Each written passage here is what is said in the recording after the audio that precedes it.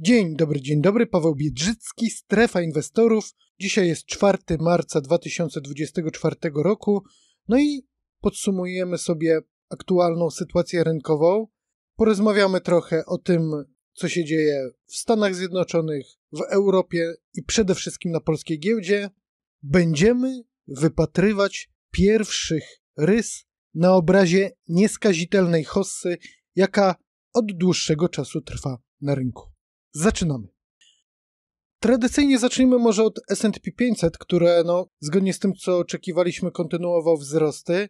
No w tej chwili jesteśmy w takiej sytuacji, że oczywiście indeks S&P 500 jest na rekordowych poziomach, bardzo mocno zyskuje na wartości, no i praktycznie e, no, te wszystkie elementy w postaci wyników finansowych no, zostały wyczerpane, no bo sezon wyników finansowych za czwarty kwartał w Stanach Zjednoczonych dobiega końca, no i potencjalnie, ewentualnie kolejnych motorów wzrostu będziemy mogli e, wypatrywać dopiero za miesiąc, jak pojawią się wyniki za pierwszy kwartał.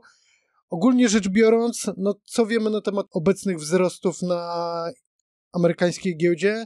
No, że one są w głównej mierze zasługą dosłownie kilku spółek. Jeżeli sobie popatrzymy na takie zestawienie indeksu S&P 500 i Russell 2000, czyli tego najbardziej amerykańskiego e, indeksu, w skład którego wchodzi 2000 spółek, głównie działających w Stanach Zjednoczonych, no to mamy taką potężną dywergencję, to znaczy te nowe szczyty na indeksie S&P 500 w żaden sposób nie są potwierdzane przez Russell 2000.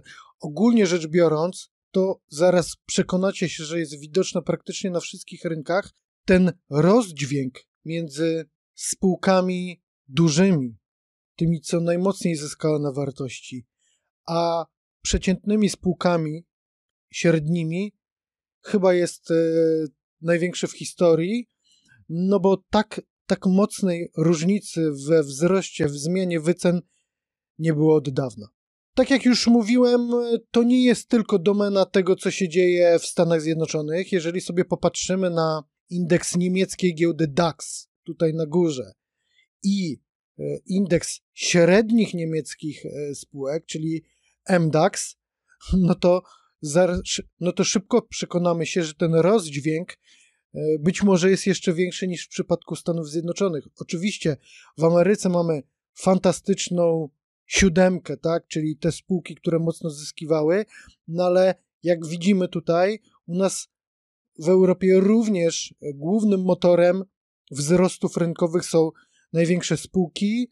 E, no, w przypadku akurat DAX-a i MDAX-a, MDAX, czyli średnie niemieckie spółki, ta dywergencja jest podwójna, no bo on jest e, poniżej swoich maksimów z 2021 roku, no i jeszcze na dodatek jest poniżej tych maksimów z początku 2023 roku, więc ten rozdźwięk, ta różnica na korzyść największych spółek jest w Europie nawet dużo większa.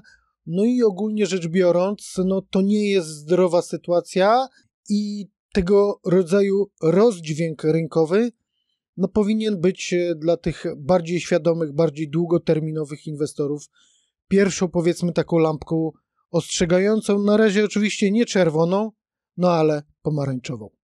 W ten sposób dochodzimy do mm, indeksów e, GPW. Tutaj może zaczniemy od takiej ciekawej sytuacji, jaka ma miejsce, czyli od indeksu WIG. WIG również oczywiście jest na historycznych maksimach. W zeszłym miesiącu mówiliśmy o tym, że tą przecenę interpretujemy jako ruch powrotny do wyłamanych szczytów z 2021 roku i kontynuacja wzrostów.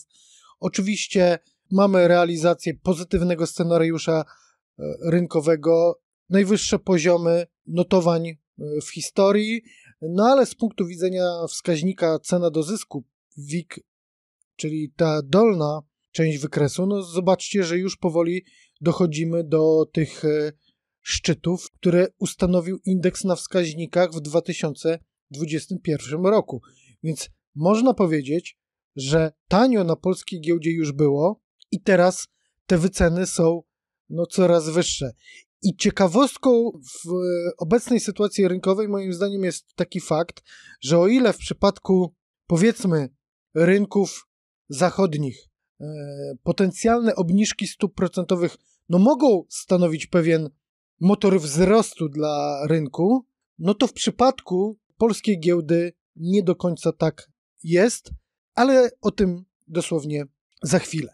Oczywiście e, to, co warto powiedzieć i to, co stanowi plus polskiego rynku w stosunku chociażby do tego, co widzieliśmy w Stanach Zjednoczonych czy na giełdzie niemieckiej, jest fakt, że no, u nas te małe i średnie spółki również zyskują na wartości.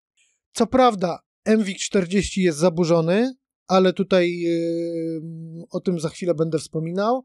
O tyle SWIG80 można powiedzieć, że no, pozostaje tym całkiem nieźle performującym indeksem i wykazuje się siłą względem indeksu WIG20. Dla nas to jest ważne. Ja to wielokrotnie powtarzałem, że ta relacja WIG20 SWIG80 jest niezwykle istotna dla długoterminowej równowagi rynku. No i na razie ten stan się utrzymuje. Czyli tutaj nie mamy żadnych jakichś mm, niepokojących dywergencji.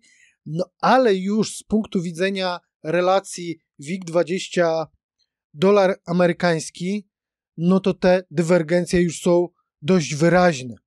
Już miesiąc temu wspominałem o tym, że będziemy z uwagą obserwować, e, jak będzie reagował amerykański dolar w stosunku do złotego na potencjalne wyjście indeksu WIG20 e, na nowe roczne maksima. No i cóż, no i mamy niestety realizację na ten moment negatywnego scenariusza.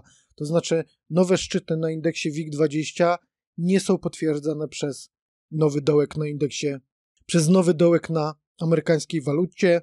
Mamy dywergencję, no i to jest e, sygnał ostrzegawczy w tym w nieskazitelnym obrazie hossy giełdowej, jaka ma miejsce na GPW. Wracając do tematu tych stóp procentowych i jak to się powszechnie oczekuje pozytywnego wpływu na potencjalne wyceny na giełdzie, no musimy pamiętać o tym, że Amerykanie mają swoją wspaniałą siódemkę, Niemcy mają swoje największe spółki, Francuzi mają swoje spółki luksusowe, a my, a my mamy banki. Głównym motorem napędowym ostatnich wzrostów i na indeksie WIG20 i na indeksie MWIG40 był sektor bankowy, który korzysta na czym? Na wysokich stopach procentowych.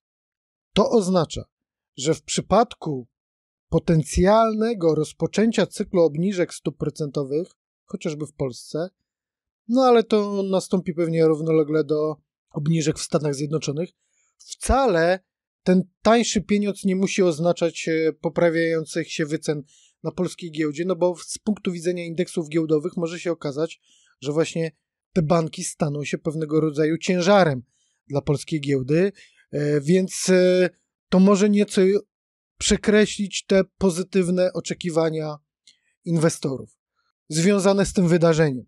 Więc podsumowując, oczywiście hossa na giełdzie trwa i tutaj bez dwóch zdań ta atmosfera rynkowa jest fantastyczna, no ale po okresie niemal półtora roku wzrostów już y, ta atmosfera rynkowa widać, że jest rozgrzana, wyceny są już nie tak niskie, jakie były jeszcze jakiś tam czas temu, no i rynek zaczyna wysyłać potencjalne niepokojące sygnały.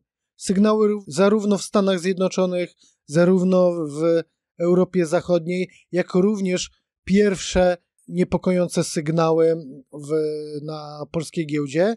Więc teraz scenariusz y, rynkowy powinien być taki, że czekamy na jakąś korektę tych ostatnich wzrostów, jakie widzieliśmy na rynkach światowych. Ona prędzej czy później nastąpi.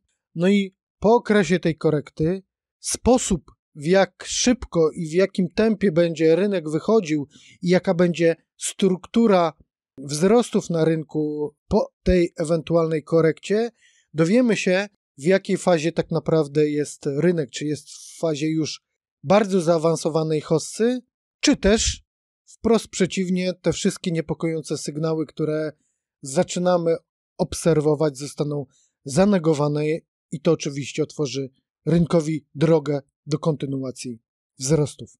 Także to wszystko, co dzisiaj przygotowałem. Ja bardzo dziękuję za uwagę. Wyczulamy nasze inwestycyjne zmysły. Do usłyszenia i do zobaczenia.